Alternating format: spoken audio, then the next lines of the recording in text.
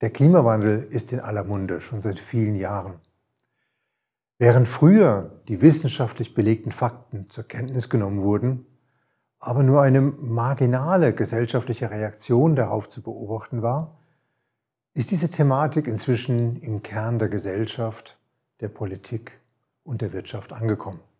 Zentrale Fragen in der Auseinandersetzung mit dieser Thematik sind beispielsweise, was sind die biophysikalischen Zusammenhänge im Klimasystem?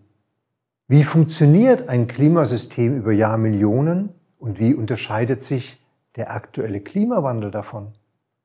Welche Auswirkungen auf Umwelt und Gesellschaft hat der Klimawandel?